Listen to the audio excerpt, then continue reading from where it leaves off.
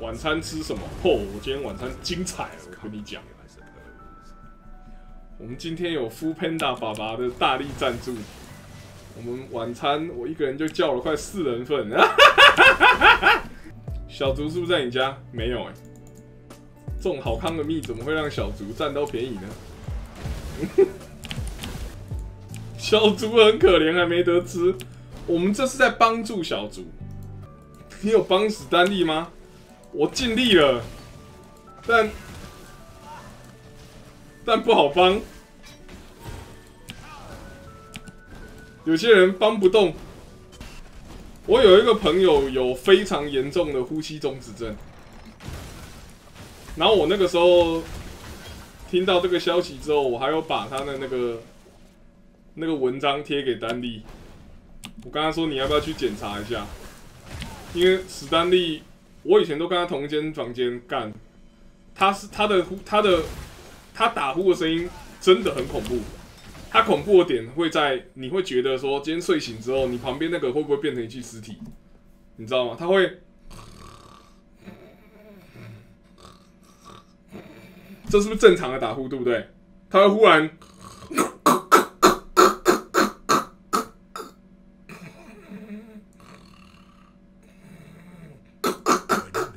就是你会忽然就哦睡哦睡睡睡睡睡这种感觉，你知道吗？我也很害怕，我跟你讲，真的是会这样。你们就是没有真正看过或者是听过呼吸中止症的人是长是什么声音，你们才会觉得说他妈我好像好像很很浮夸这样子。你你去听一遍你就知道了，真的没有在胡乱你了，真的是这种声音，你知道吗？就是你你你会他妈的就忽然你就觉得干，然后我晚上我会惊醒，你知道吗？我晚上会惊醒，我就干干他是不是？我我要不要我要不要做点什么啊？就是我会有这种想法，你知道吗？就是我是不是应该要做点什么？我要把他要叫醒他吗？啊还是？然后哎，好好像又没事。就是嗯，我那个时候一直觉得，我那个时候根本不知道这是什么，我只是觉得他可能是呃睡觉流口水，然后呛到。这样子，然后因为它很长，会这样，所以我就想说，好吧，那应该这是很正常的一件事。直到我有个朋友跟我说，我有很严重的呼吸中止症，呼吸中止症，呃，呼吸中睡眠呼吸中止症，然后他还开刀了，你知道吗？这是重点，因为他那一阵子，哎，他以前工作很忙的，然后他忽然就是，哎，我们他忽然就可以跟我们一起玩游戏哦，我们就问他，哎，你最近怎么这么闲啊？他说没有，我开刀。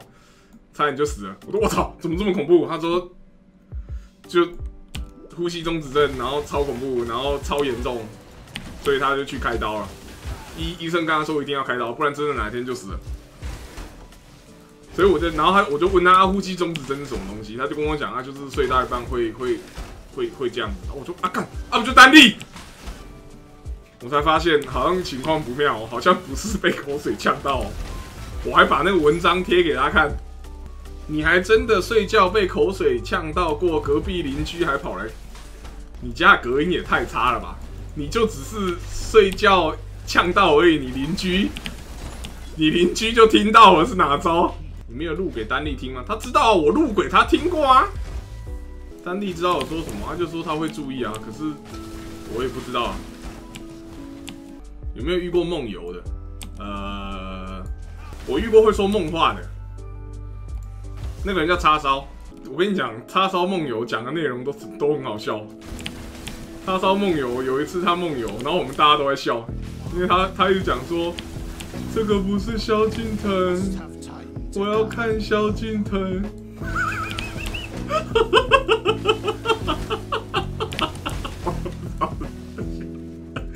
他一直一直讲萧敬腾，我说干你是你是很真的这么喜欢萧敬腾是不是啊？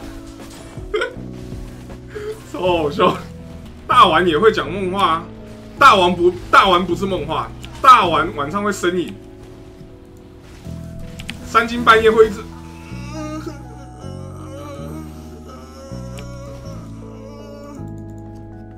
不是，那你知道这个还不是最令人不舒服的事情，你知道吗？你知道最令人不舒服的事情是什么吗？有一次我就跟黄子莹讲说，哎、那个大王晚上会一直哀、会一直一直嘤嘤叫、哎，他说他嘤嘤叫的时候啊，你就摸摸他的脸就好了。我想说，妈怎么那么变态？你摸还算很正常，我摸他就告我性骚扰了。我跟你讲，那、你怎么了解？不是、啊、那个时候我是他们教练啊。请问这个时候有人走进来会做什么？我们那个时候嘛，那一间我们那一间房间啊，就是全部的怪胎都是同一间，每个都超怪的，每个人都有问题，然后就睡同一间。然后最惨的人是谁，你知道吗？张家伟，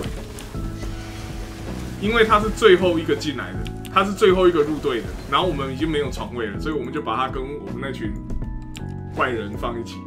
我们那间房间有这个有这个叉烧，我加 Wins 加 Mountain。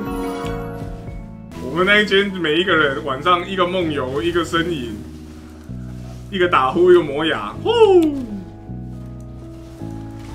然后张家伟就是整晚上都不用睡的那个，最惨的那种。有会磨牙的吗？呃，我如果很冷的话，我会磨牙。要很冷，我就会磨牙。你还会摸脸靠背，感觉很欢乐，吵死了！我跟你讲。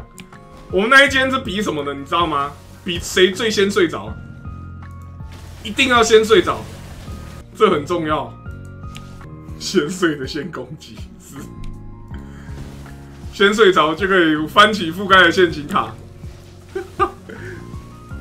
站歪点已经，谁都第一个睡，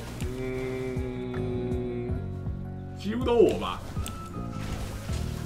但是我的我的磨牙嘛是很 random 的，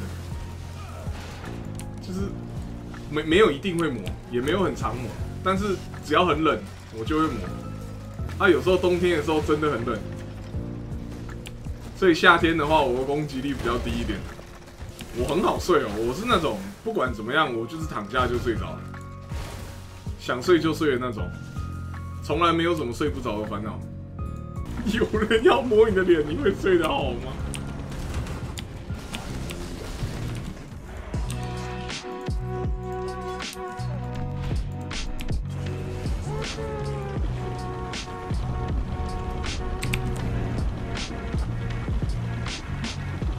不可能，不可能死，